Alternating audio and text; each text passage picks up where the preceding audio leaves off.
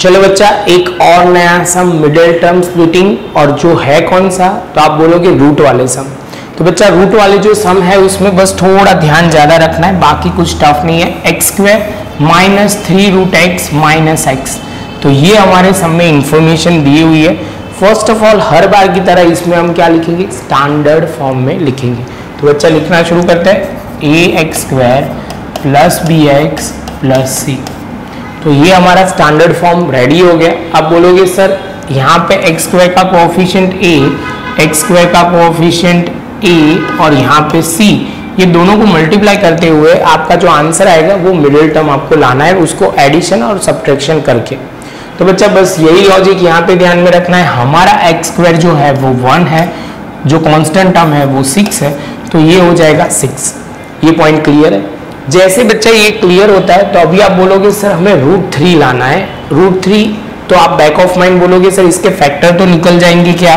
तो आप बोलोगे, सर, इसके फैक्टर निकलेंगे टू इंटू थ्री अब बच्चा, ये हर बार मैं बोलता हूँ, इसमें भी बोल रहा हूँ। आप थोड़ा ध्यान रखना, ये थोड़े थोड़े लॉजिक जैसे मैं root three plus root three बोलूँ तो आप बोलोगे, सर टू रूट थ्री आप बोलोगे, sir four root three plus root three तो आप बोलोगे फाइव रूट थ्री आप बोलोगे, sir five root three plus root three तो आप बोलोगे, सर सिक्स रूट थ्री आप बोलोगे seven root three plus three root three तो आप बोलोगे टेन रूट थ्री ये समझ में आ रहा है? इसमें कोई डाउट नहीं होना चाहिए। बहुत बार से मैं ये समझा रहा हूँ।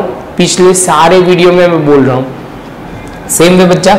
यहाँ पे root three into root three तो आप बोलोगे थ्री होगा। Same way root two into root two multiply करोगे तो टू हो जाएगा। Root five into root five हो जाएगा क्या? तो फाइव हो जाएगा। क्योंकि इसका ही हमें इन्वर्स यहाँ अप्लाई करना है, यहाँ थ्री दिया हुआ है। तो बच्चा बोलेगा सर थ्री की जगह लिखो root three into root three बस इसको अब अरेंज करने की बारी आई। तो यहाँ पे हम क्या करेंगे? यहाँ माइनस चाहिए। क्या चाहिए? माइनस तो हम लिखेंगे two root three plus root three तो आप बोलोगे, सर फोर हो जाए थ्री हो जाएगा। यहाँ मैं माइनस ऐड कर दिया। टू रूट थ्री में से एक रूट थ्री जाएगा तो बचेगा रूट थ्री क्या बचेगा बच्चा? रूट थ्री तो बस बच्चा, यही तो अप्लाई करना है हमें।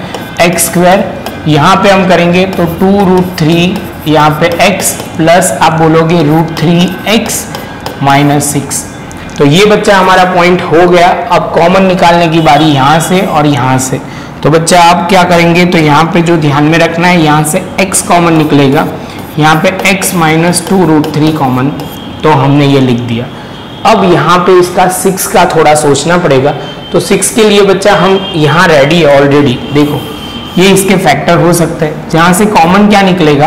तो रूट थ्री निकलेगा। सिक्स की जगह बच्चा, हम क्या लिख सकते हैं? Two into root three into root three तो ये रूट थ्री और ये रूट थ्री कॉमन निकल जाएगा। तो बच्चा बोलेगा, सर, यहाँ रूट थ्री यहाँ एक्स और दूसरा जो ध्यान में रहेगा, बचेगा क्या? टू रूट थ्री बीच में माइनस है तो वही कंटिन्यू करेंगे तो हमारा आंसर आ जाएगा। दोनों ब्रैकेट सेम हो गए तो यहाँ पे हमने लिखा x minus two root three x plus two root three तो इसके साथ बच्चा, हमारा ये पॉइंट अच्छी तरह 47 नंबर का सम खत्म हो गया। है बहुत सिंपल थोड़ी प्रैक्टिस की तो ज़रूरत आपको पड़ेगी। प्रॉपर नोटबुक में लिखना तो ज़्यादा समझ में आएगा। एक एक सम दो बार कैलकुलेट करो बच्चा, हर एक बार सर बोल रहे तो आपसे एक्सपेक्टेशन है कि आप करोगे तो आ जाएगा। थोड़ी प्रैक्टिस करो।